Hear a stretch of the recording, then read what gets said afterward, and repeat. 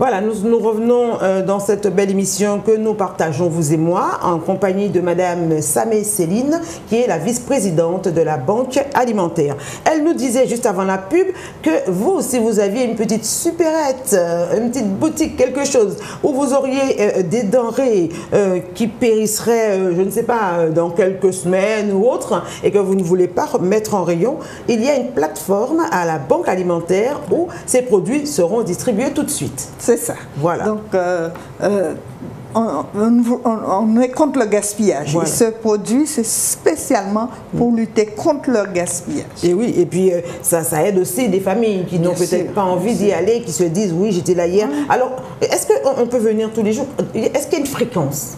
Est-ce que la personne peut aller à la banque alimentaire régulièrement ou est-ce que c'est une fois par semaine, une fois par euh, mois? comme nous avions déjà dit précédemment qu'on ne va pas à la banque alimentaire, on va à l'association ou on va au CCAS, Oui. il nous suffirait de...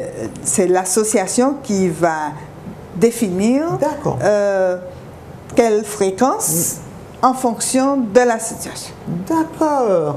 Donc on ne peut pas se dire qu'on est dans l'association, on va leur demander euh, les l'autorisation tous les jours d'aller faire des courses. Il ne faut pas gaspiller non plus. Non. Parce qu'il y a des personnes, quand on leur donne, c'est plus facile, il est plus facile de gâcher que quand on achète. Quand on achète, on fait attention. Ah ouais, gaspillez pas, faites attention, etc. Mais quand on, on donne quelque chose, vous avez vu que le, le constat est là. hein. Ouais. Le constat est là. Il y a, il y a des enfants qui, qui gâchent et les parents qui ne peuvent pas dire non, parce que j'en veux plus, c'est parti à la poubelle. Mais de notre temps, manger là, t'es qu'à rasser, t'es qu'à mettre en frigidaire, t'es qu'à chauffer, pour plus tard, pour le lendemain. Absolument, mais Euh, maintenant on a le réfrigérateur, on peut garder. On peut garder, et malgré cela, il y a beaucoup de gaspillage quand même. Donc cette banque alimentaire qui fonctionne avec des associations à caractère euh, d'ordre social, des associations telles que, je ne vais pas en citer parce que pour ne pas en citer d'autres, hein, Ouais. hein, si j'en cite un, à une, pardon, il faudra en citer D'accord. donc euh, cette association fonctionne, vous pouvez vous rendre à cette banque alimentaire. Elle, Madame euh, Samé Céline a donné le numéro de téléphone pour pouvoir vous renseigner. Alors si votre situation est vraiment précaire et que vous en avez besoin, eh bien allez-y. Ne faites pas genre j'ai trois enfants, j'y vais, même si on n'a pas besoin, à parce qu'il y a toujours d'autres personnes qui auront beaucoup plus besoin que d'autres. Alors qu'est-ce que nous n'avons pas dit? Est-ce que, est que le fait de, de- de redistribuer vos denrées vous permet à vous de constater la majorité euh, euh, euh, de Guadeloupéens qui seraient dans le besoin. Est-ce que vous pouvez dire aujourd'hui, est-ce qu'il y a une grande majorité ou est-ce que ça diminue Ah non, ça ne diminue pas. Euh, déjà avant le Covid, nous avons vu un certain nombre de personnes s'ajouter aux nécessiteux euh, classiques. Oui. Nous avons vu les retraités entrer dans le groupe, c'est-à-dire qui ne finissent pas le mois, qui sont obligés d'aller auprès d'une association pour demander de l'aide. Oui. Nous avons vu également déjà pointer à l'horizon des étudiants.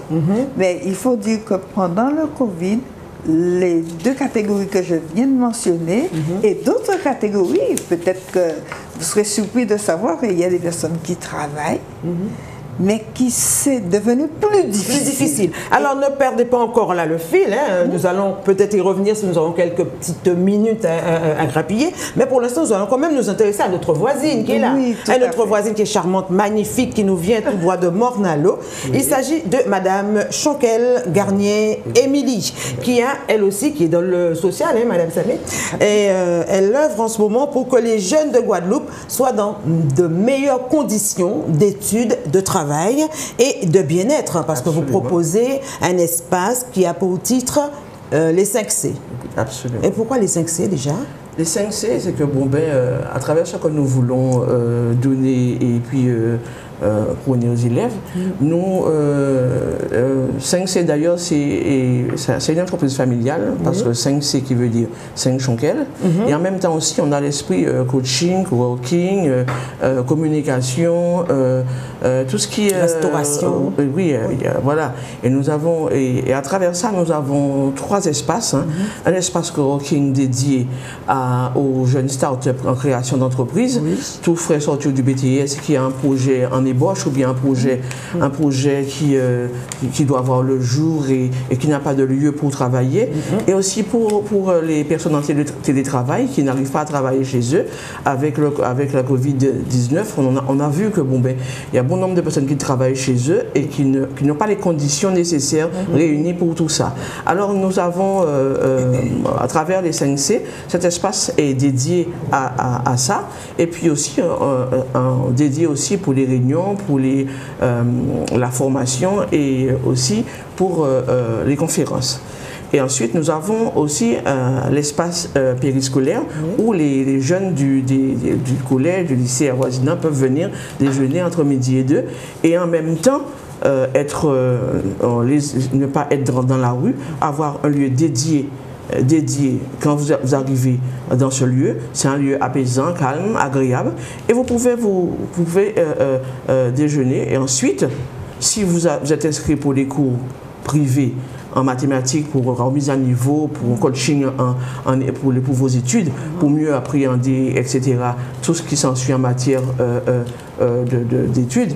Et, à ce moment-là, euh, vous pouvez euh, euh, prétendre à, à ce lieu. D'accord. Voilà. Donc vous dispensez des cours à ceux qui en ont besoin. Oui, absolument. Vous les hébergez euh, euh, le temps de déjeuner, la pause méridienne. hein, la pause Voilà, méridienne, les les- enfants peuvent euh, déjeuner chez vous, euh, euh, Voilà. faire des devoirs, aller sur l'ordinateur.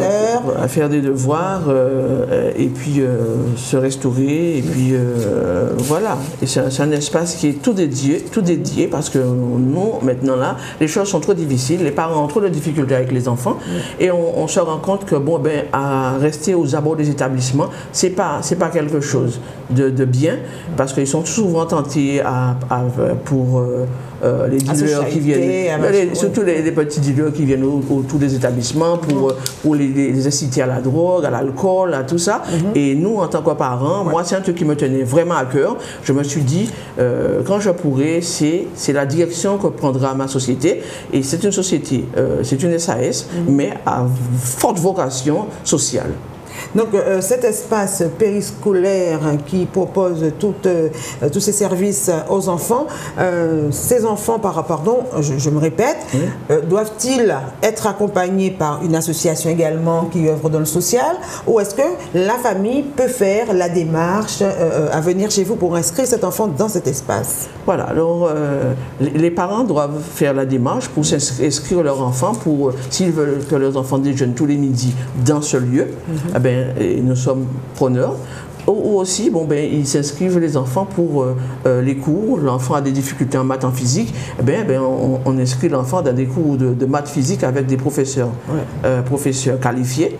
Hein, Nous, nous tenons à donner la qualité chez nous. La qualité, c'est que bon ben, euh, euh, euh, on, on analyse le- les besoins de l'enfant et du jeune, de l'étudiant en question, et ensuite nous faisons euh, un, un bilan et on, on- les, les professeurs qui sont qui viennent dans, dans, dans cette structure fera le bilan pédagogique ou bien le bilan de l'enfant et puis à ce moment-là on propose un programme adapté à, à ce jeune qui est en difficulté. Parce que Alors sommes- le, le bilan, Oui. c'est intéressant. Parce que si vous faites un bilan, il vous faut un psychologue, il vous faut euh, Voilà. euh, enfin les, les- les- Ab- les absolument. personnes, euh, les professionnels qui œuvrent autour de l'enfance. Oui.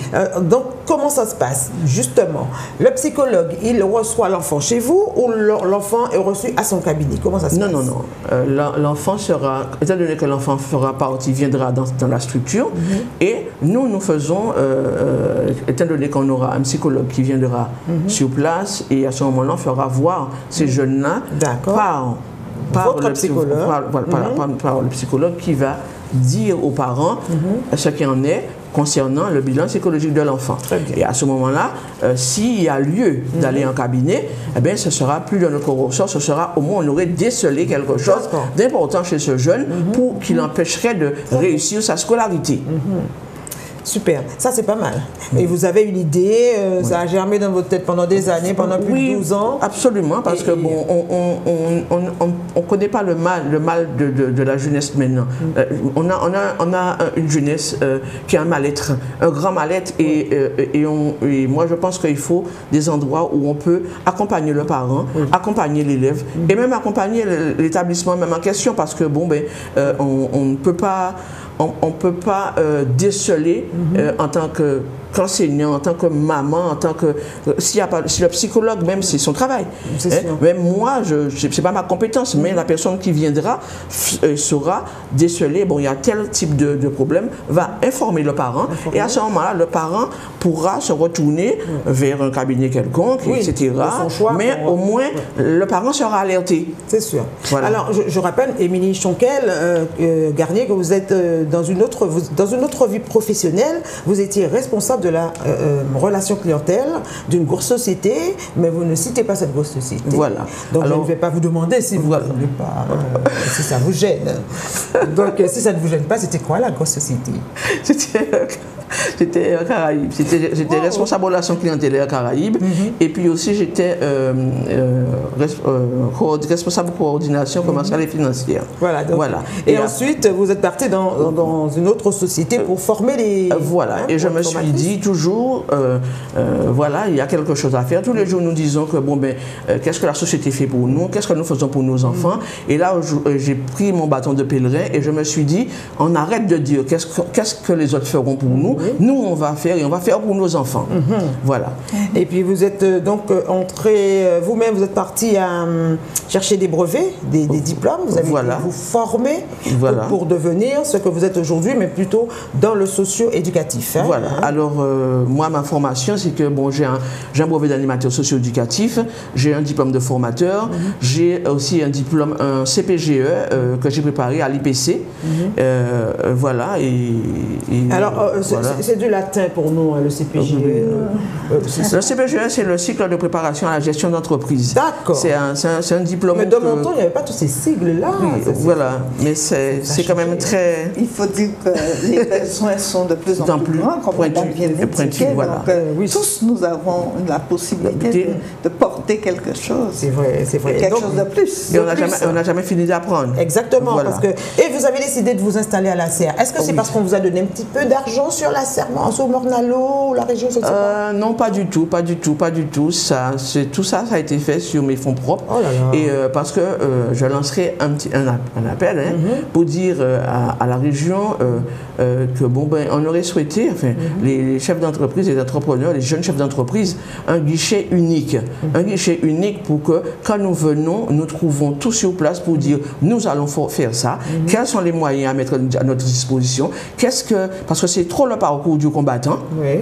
Trop le parcours, parcours du combattant et finalement on, on- on se voit euh, euh, par là, ballotté à gauche et je pense que moi euh, j'avais pas été dans ce domaine en création d'entreprise avant, avant cette aventure. Ça. Et, et je, je- je constatais que c'était très dur et très difficile de créer. Et or, or, même si on a de bonnes idées, mais la création devient quelque chose d'extrêmement difficile. Et je dis bravo et beaucoup de courage aux, aux- aux- aux gens qui créent en Guadeloupe, aux gens qui font, qui font vivre l'économie et qui même créent leurs emplois.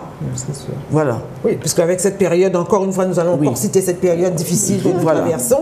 Nous avons beaucoup de, de Guadeloupéens qui ont perdu leur emploi et qui aimeraient se mettre à leur compte, mais c'est vrai que les papiers, les, les- les- Voilà, les- les démarches sont. démarches. sont- et euh, si vous me permettez, euh, il y, a, il y a une chose aussi qui m'a vraiment euh, poussé dans cette direction. Mhm. Je vais vous donner deux exemples assez rapidement. Un exemple où, j'avais un jeune qui sort de métropole, qui a fait des études et qui arrive en Guadeloupe et que, que je pose une question comment allez-vous? Le jeune me répond euh, ben, ben, ben, ça va, mais je suis très déçu parce que euh, il n'y a rien de bon en Guadeloupe, il n'y a rien, c'est que la violence, il faut prendre votre gun euh, pour un machin. Je pense que je vais même prendre mon gun. Je lui dis ah bon? Mais c'est quoi ça? Mais c'est tout ce que tu as appris sur la Guadeloupe? Et il me, il me répond oui, mais qu'est-ce qu'il y a? Je lui dit tu n'as pas entendu parler de Marie-Josée Pérec? Tu n'as pas entendu parler de, de, de Marie Scondé? Tu n'as pas entendu parler de tous nos champions? La Guadeloupe, terre de champions, terre de. euh, comment on appelle ça encore Euh, terre, terre- Mais- mais nous avons le tourisme, nous avons la, la culture, Terre- oui. Terre de talent et terre de oui, champion. Vous n'avez pas entendu dire que tous nos peintres qui vont à l'extérieur sont très cotés, sont très appréciés. Hein? Alors, alors, il m'a dit, oui, mais euh, effectivement, vous me dites ça, mais il y a tout ça. Mais pourquoi, euh, pourquoi je...